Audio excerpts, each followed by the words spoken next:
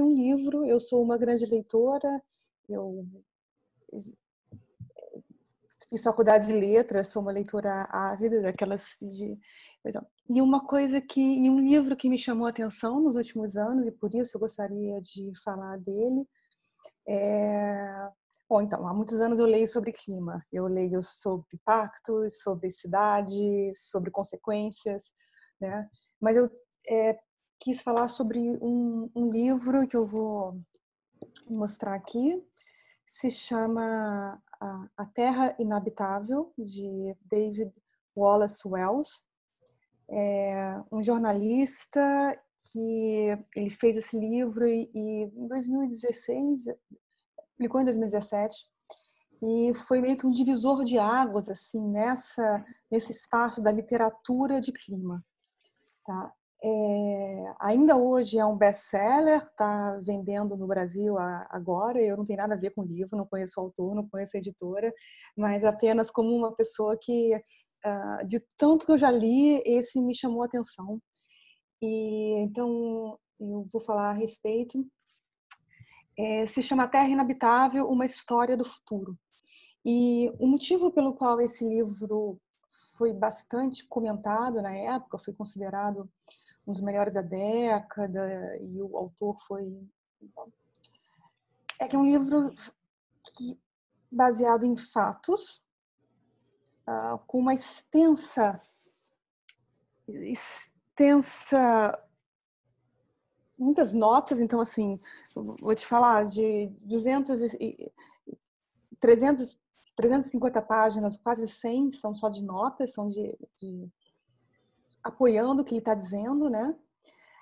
Mas é um livro com estilo fácil de ler, é escrito por um jornalista, baseado em fatos, baseado na melhor ciência, e que metade dele é sobre o que está acontecendo e a outra metade são sobre reflexões de como uh, desenvolvemos a partir daqui. É, uma coisa que chamou a atenção e, é que não é um livro fácil de ler no sentido de não são apenas boas notícias, muito pelo contrário. É um livro que não tenta ser uh, simpático ou dar falsas esperanças. É um livro é, é, fala umas, umas, umas, umas, alguns dados bastante impactantes. Uh, por exemplo, anualmente 7 milhões de pessoas morrem por má qualidade do ar.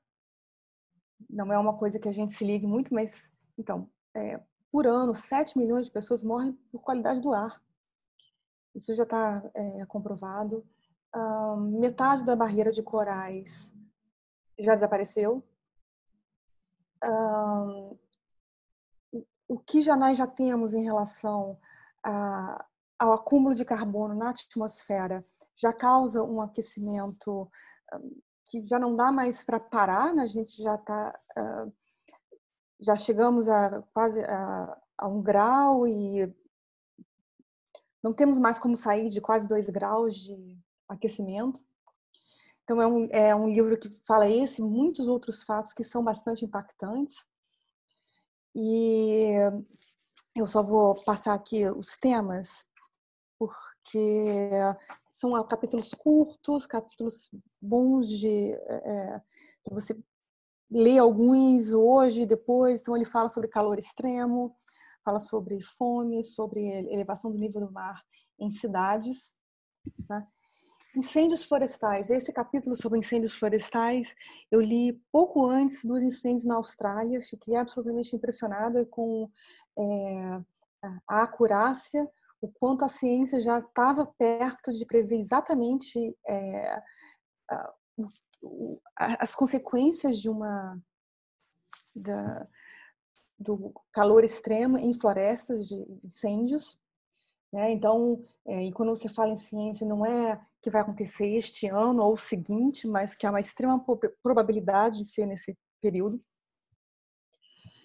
Uh, capítulo sobre a, a morte dos, dos, oceanos, e aí hoje é até um dado que todo mundo já sabe, a questão de plásticos dentro do, mar. Uh, o ar irrespirável, falei. Então, as pragas do aquecimento, então, eh, as doenças que ah, podem advir por causa do aquecimento do planeta.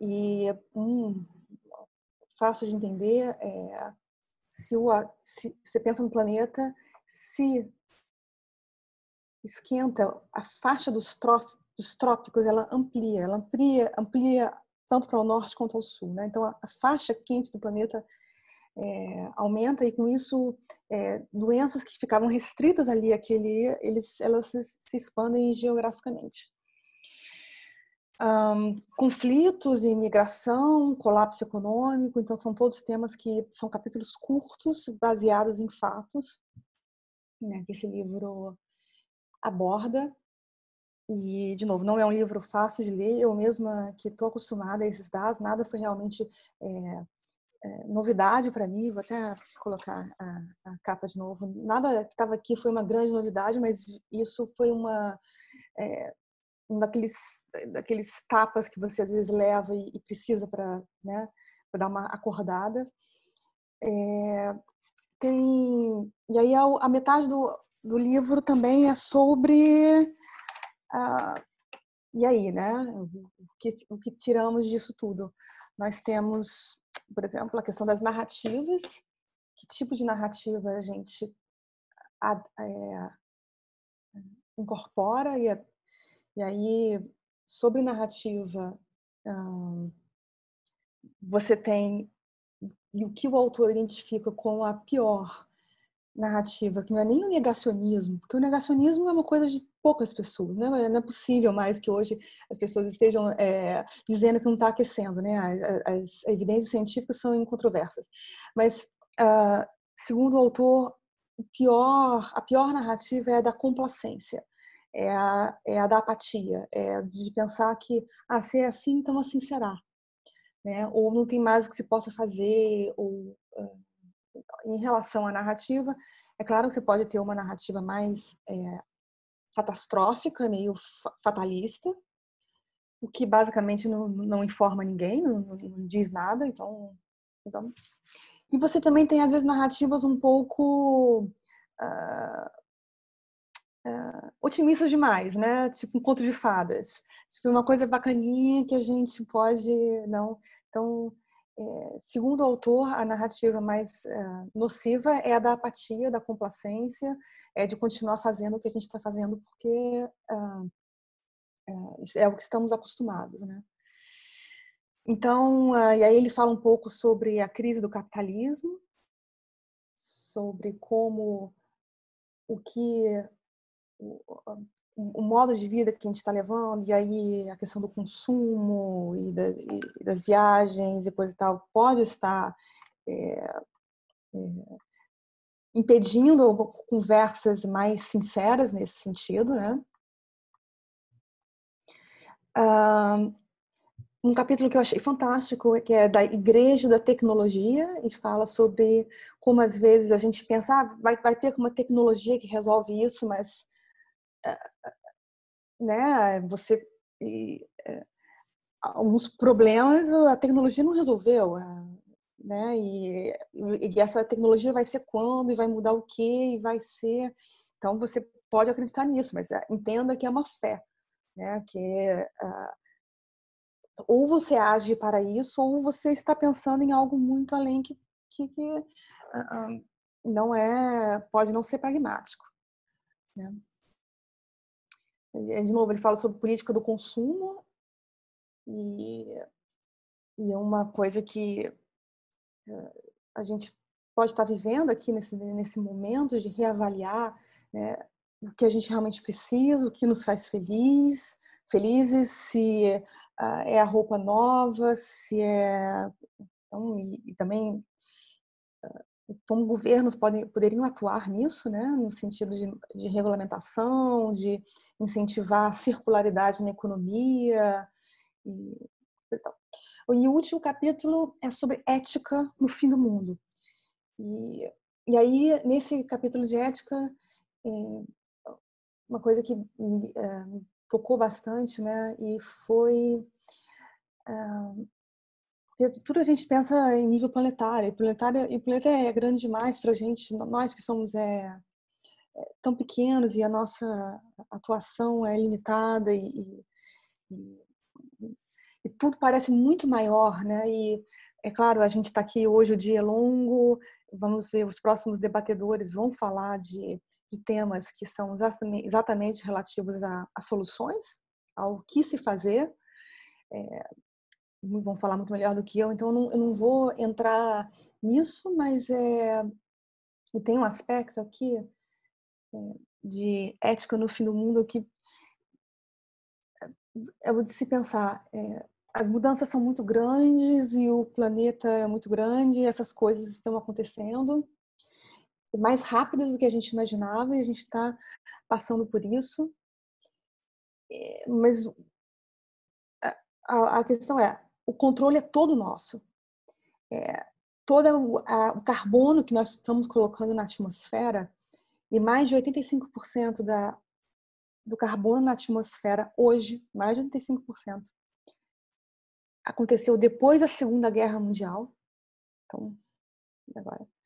É, queimamos mais carvão hoje, em 2020, do que queimávamos no ano 2000.